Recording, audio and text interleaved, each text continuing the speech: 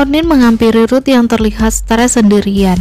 Onin mulai memprovokasi Ruth. Kak Wi seharusnya tidak mengatakan itu. Itu mempermalukan Ruth.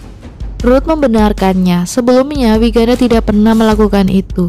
Dia takut masalah ini akan tersebar. Onin setuju jika jadi dia, dia tidak akan melakukan hal seperti itu. Dia hanya akan melakukan apa yang Kak Ruth katakan. Dia akan melakukannya bahkan jika itu membuatnya sedih.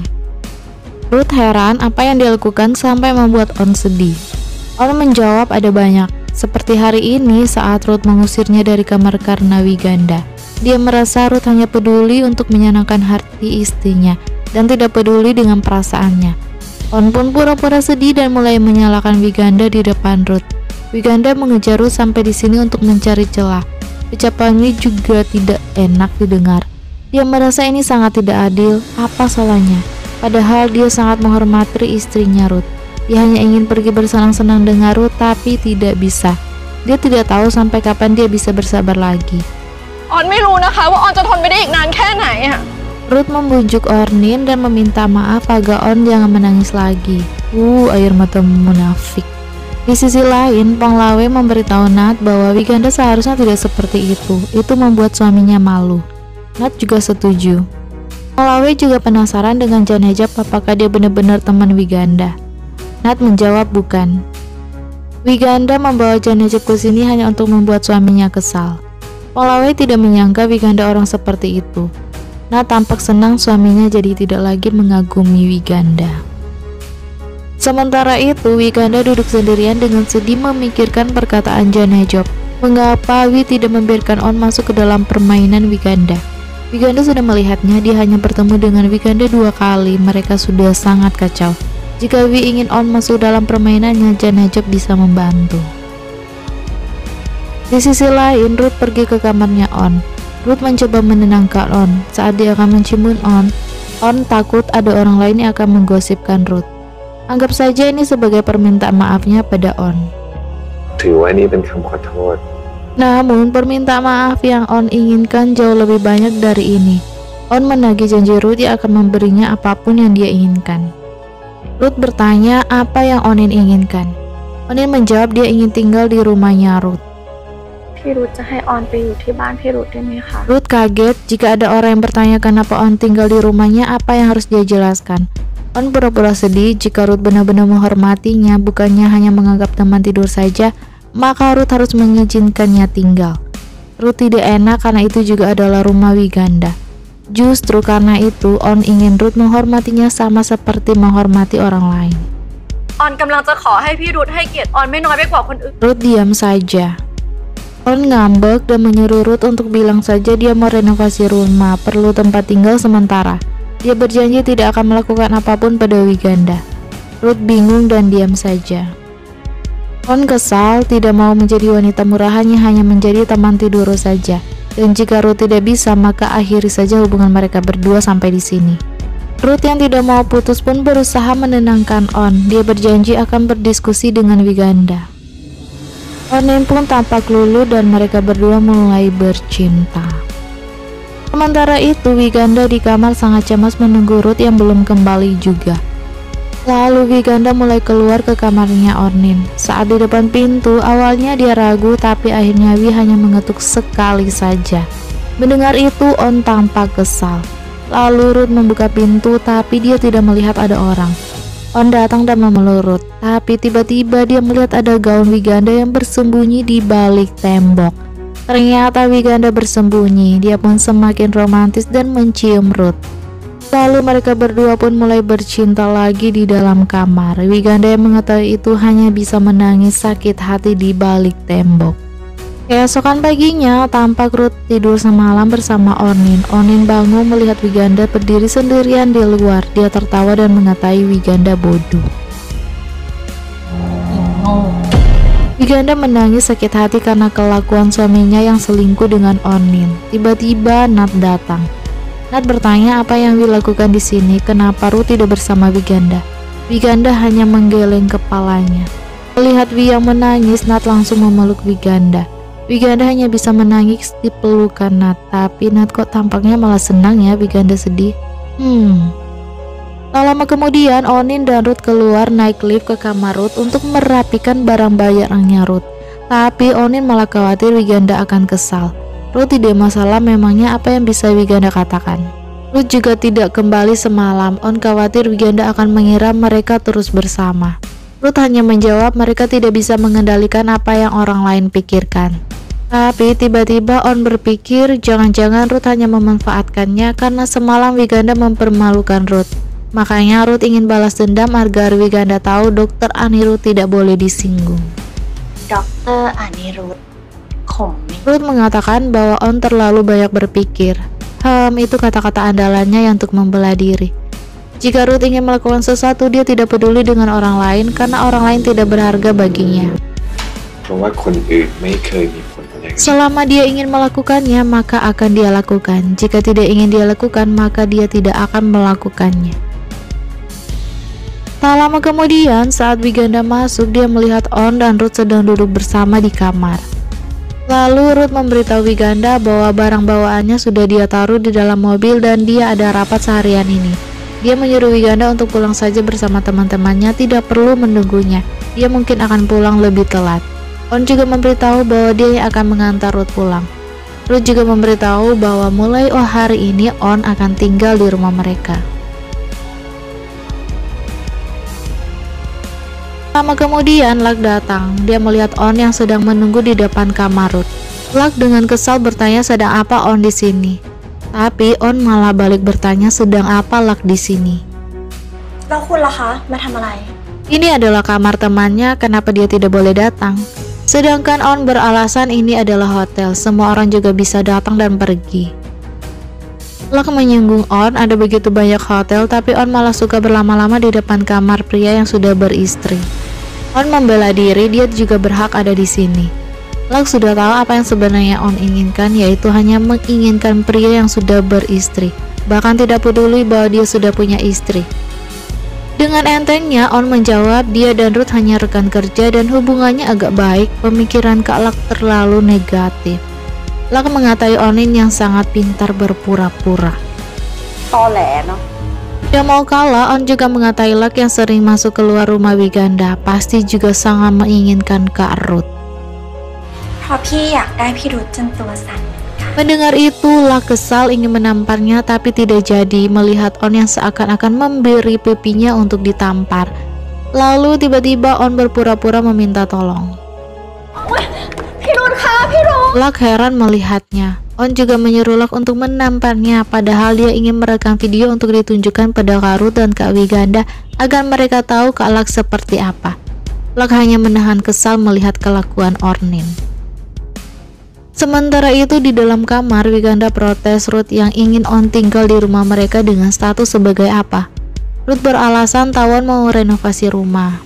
Jadi tidak masalah hanya membiarkan On tinggal di rumah mereka untuk sementara. Ganda heran kalau memang benar kenapa Tawon tidak tinggal di rumah juga. Kenapa hanya adiknya yang tinggal di rumah? Ruth beralasan Tawon mungkin tidak nyaman. Jika Ruth bersikeras seperti itu, lebih baik terus terang saja padanya. Ruth ingin On tinggal di rumah mereka dengan satu sebagai apa? Jika berani melakukan, harus berani bertanggung jawab. Ruth tidak terima perkataan Wiganda, dia bukan orang yang tidak berperasaan. On hanya meminta bantuannya apakah Ruth harus menolak. Wiganda tetap tidak terima. Ruth merasa Wiganda ingin bertengkar dengannya karena tidak menuruti permintaannya. Lalu bagaimana caranya agar Ruth berterus terang padanya? Ruth tidak kembali semalaman lalu tiba-tiba bilang padanya mau membawa wanita itu tinggal di rumah mereka. Apakah ini belum cukup jelas? ที่คุณหายกันไปทั้งคืน Lu tidak terima dia malah menyalahkan Wiganda yang datang ke sini untuk mencari kesalahannya, juga sengaja mempermalukannya. Dia merasa Wiganda tidak sama lagi seperti yang dulu. Wiganda bersikeras sebagai istri sah dia tidak akan membiarkan Ruth membawa wanita lain ke rumah. Ruth terus menyalahkan Wiganda yang terus mencari kesalahannya. Kenapa Wiganda jadi seperti ini? Wiganda jadi seperti ini karena Ruth. Dia pikir jika suatu hari Ruth sudah lelah, ini semua akan berakhir. Tetapi tidak, Ruth masih saja mencari wanita lain. Lalu setiap kali Ruth melihatnya terus mengejar Ruth, Ruth akan sangat senang. Wiganda juga lelah dengan Soma ini. Sekarang Ruth mau membawa wanita lain ke rumah. Bukankah itu keterlaluan? Ruth seharusnya menghormatinya. Dia juga punya perasaan. Jika Ruth bersikeras melakukan itu, dia juga tidak tahu berapa lama lagi dia bisa bertahan di dalam permainan Ruth. Lalu Wiganda pun keluar dengan kesal. Lak sangat khawatir melihat Wiganda yang keluar dengan sangat sedih. Sedetik kemudian Ruth juga keluar. On memberitahu bahwa Ruth ada rapat. Dia akan membantu Ruth membawa barang-barangnya ke meja resepsionis. Mendengar itu, Wiganda kesal lalu pergi. Onin dengan tanpa bersalah mengucapkan sampai jumpa di rumah. Lak tampak sangat kesal kepada Ruth. Saat turun ke lobi, Lak protes bukan Ruth mengatakan bahwa dia tidak ada hubungan apa pun dengan wanita itu. Mengapa Ruth berani meminta seperti itu? Tapi Wiganda malah heran Lak mengatakan itu padahal dia belum memberitahu apa pun pada Lak. Ruth sama sekali tidak mengakui hubungannya dengan Onin. Lak canggung, dia cuma menduganya karena biasanya Ruth juga keras kepala. Janeja menyuruh mereka tenang dulu. Lak protes bagaimana bisa tenang dan menyuruh Janeja mengurus mantan istrinya yang berusaha menghancurkan rumah tangga orang lain. Janajab tidak peduli dengan perkataan Lak. Dia malah bertanya pada Wiganda apa yang harus mereka lakukan. Wiganda pikir ini semua akan berakhir tetapi ternyata tidak. Ruth tidak pernah begitu serius kepada siapa pun. Lak menyuruh Wiganda untuk tidak menyerah. Wi mengatakan jika dia membawa wanita itu ke rumah, dia tidak akan bersabar lagi. Janaja membenarkannya, kenapa juga harus bersabar. Wiganda tidak melakukan kesalahan apa pun. Apakah Wi mau menyerah begitu saja? Hal ini tidak akan berakhir dengan mudah karena On tidak seperti wanita yang sebelumnya Ruth temui. On akan bergabung dan bermain dengan Wiganda. Hal ini sudah bukan hanya permainan Wi dengan Ruth. On adalah wanita yang sangat kompetitif dan dia tidak pernah kalah. Tapi Janejo berharap On kalah dari Wiganda. Biarkan On merasakan rasanya kalah. Najib juga menyuruh Wiganda untuk membiarkan On tinggal di dalam rumahnya. Ini adalah satu-satunya kesempatan agar On bergabung dalam permainan Wiganda. Lak tidak setuju dan menyuruh Wiganda untuk tidak melakukannya. Najib menyuruh Wiganda untuk berpikir dulu saja.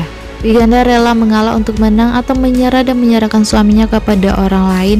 Namun harus diakui jika Wikala, Wi bukan hanya kehilangan seorang suami, tapi juga kehilangan segalanya, pekerjaan, status sosial, dan martabat. Di semua media sosial akan dikatakan bahwa Wiganda adalah wanita yang hebat dan sempurna tetapi kalah kepada selingkuhan. Apakah Wiganda sudah siap secara mental? Tiba-tiba ibunya Wiganda menelponnya. Tak lama kemudian Wiganda tiba di rumah ayah dan ibunya sambil membawa makanan kesukaan ayah dan ibunya. Namun ayahnya malah memarahi Wiganda karena ke pantai dengan pria lain walaupun ada suaminya juga. Ibunya meminta agar bicarakan dulu dengan baik-baik. Ayahnya tidak bisa bicarakan dengan baik-baik. Dia sudah pernah bilang lalu apa? Wiganda masih melakukannya. Ayahnya bahkan menuduh pria yang itu adalah Janejep sudah membuat Wiganda lupa bahwa Wi adalah seorang profesor. Wiganda membantahnya, gelar seorang dokter tidak ada artinya jika hati nurani seseorang tidak setinggi pengetahuannya. Ayahnya tak terima anaknya membantahnya lalu menamparnya. Ayahnya sudah susah payah membesarkan dan mendidik Wiganda, mengeluarkan uang untuk menyekolahkan, bahkan juga meminta agar pria yang akan menikah dengannya memiliki latar belakang yang setara dengan mereka. Lalu Wiganda membantahnya seperti itu. Ayahnya merasa Wi tidak pantas menjadi anaknya. Wiganda memberitahu dia hanya berbicara dengan Janajab, tidak melakukan hal yang berlebihan. Dia malah menjadi wanita yang tidak tahu malu. Lalu pria yang sembarangan tidur dengan wanita lain dan berani membawa wanita yang ke rumah itu apa namanya?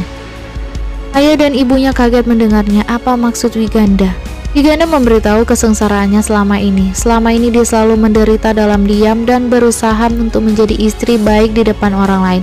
Tidak kenal lelah dan rela tersiksa, namun dia begitu menderita karena memiliki gelar profesor ini. Ibunya bertanya apakah Ruth membawa wanita lain ke rumahnya. Selama ini Wiganda selalu mengira Ruth adalah satu-satunya suaminya, namun bagi Ruth dia hanyalah istri sah, bukan satu-satunya istri. Ruth merasa dia adalah pria, bisa melakukan apa saja, tidak akan rugi seperti wanita. Namun jelas-jelas wanita dan pria memiliki hak yang setara untuk dicintai. Namun mulai sekarang Wiganda akan memikirkan perasaannya terlebih dahulu. Wiganda mengungkapkan dia ingin bercerai dengan Ruth, tapi ayahnya tetap saja tidak mengizinkannya.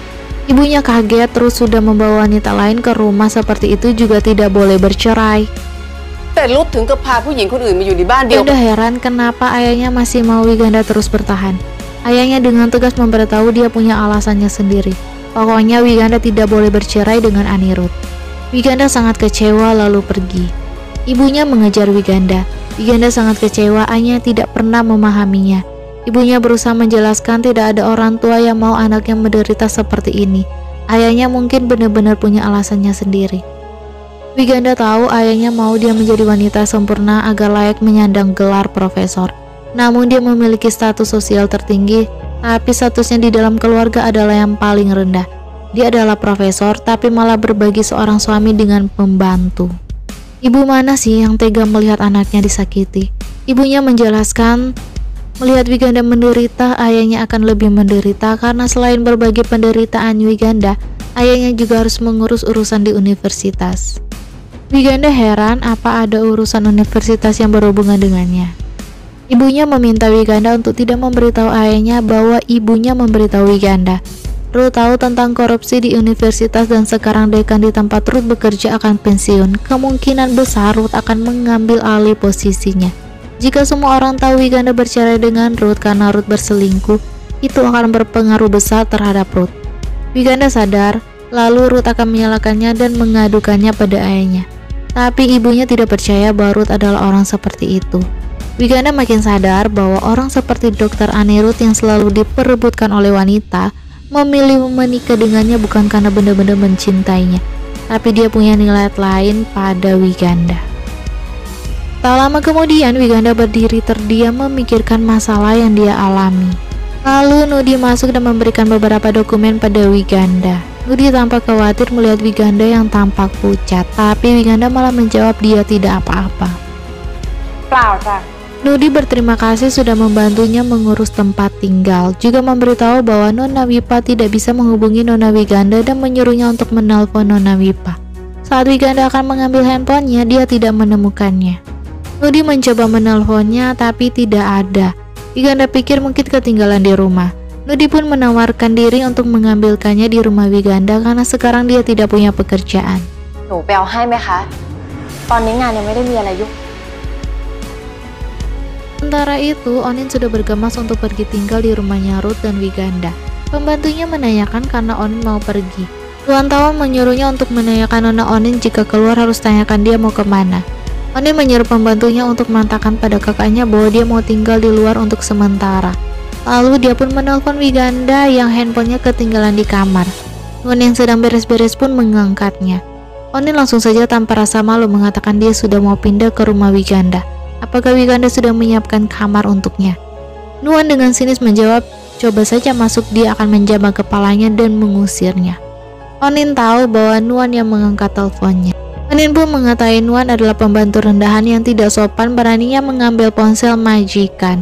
Onin juga menyuruh Nuan untuk segera berkemas dan pergi saja karena dia akan tinggal di sana. Nuan dengan kesal pun mematikan teleponnya. Lalu Ruth pun datang dan menyuruh Nuan untuk membersihkan kamar untuk Ornin. Nuan dengan kesal mengiyakannya. Ruth melihat ponsel Wiganda yang dipegang Nuan. Wiganda pasti lupa, tapi biasanya Wiganda tidak pernah lupa. Tuan dengan kesal mengatakan Nyonya Wiganda lupa karena banyak pikiran masalah Tuan yang membiarkan Onin tinggal di rumah. Ruth kesal itu bukan urusan Nuan.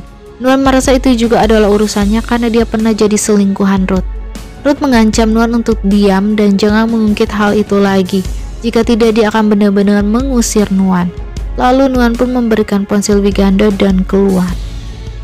Tak lama kemudian Nudi tiba di rumah Wiganda. Dia memberitahu Nuan bahwa dia adalah asisten Wiganda. Dia disuruh Nona Wiganda untuk mengambil ponselnya yang tertinggal di rumah. Tuan masuk dan berlaga seperti tuan rumah. Dia pun dengan sombongnya menyuruh Nudi untuk tunggu di sini. Dia akan memanggil tuannya karena ponselnya ada pada tuannya. Tak lama kemudian Ruth datang dan menyapa Nudi. Nudi kaget itu adalah pria yang pernah dia temui di pesta. Ruth juga kaget itu wanita yang dia temui di pesta. Dia langsung menanyakan bagaimana lukanya Nudi. Nudi menjawab lukanya sudah sembuh. Ruth pun bertanya untuk apa Nudi datang ke sini. Nudi menjelaskan bahwa dia adalah asisten Wiganda di divisi luar negeri. Nudi memberitahu sebelumnya dia tidak tahu bahwa Ruth adalah suami Nona Wiganda. Sementara itu, Onin baru tiba di rumah Wiganda. Nuan dengan kesal tidak senang dengan kedatangan Onin. Onin dengan sombongnya menyuruh Nuan untuk memindahkan barang-barangnya. Tapi Nuan dengan sinis mengatakan bahwa dia hanya mengakui dua majikan saja, Tuan Ruth dan Nyonya Wiganda. Orang luar seperti Onin tidak perlu dia bantu. Tuan memanasi Onin, sekarang juga tuannya sedang ada tamu dan dia adalah seorang wanita yang lebih muda dan juga cantik. Mungkin sudah bosan dengan asisten yang sebelumnya adalah Ornin. Mendengar itu, Onin kesal dan buru-buru masuk ke dalam. Sementara di dalam, saat Nudi akan pergi, Ruth memberikannya ponselnya Wiganda pada Nudi. Nudi tampak malu-malu terpesona dengan ketampanan Ruth. Onin yang melihat itu kesal dan memanggil Ruth dan bersambung. Kita lanjut di part selanjutnya ya. Bye-bye.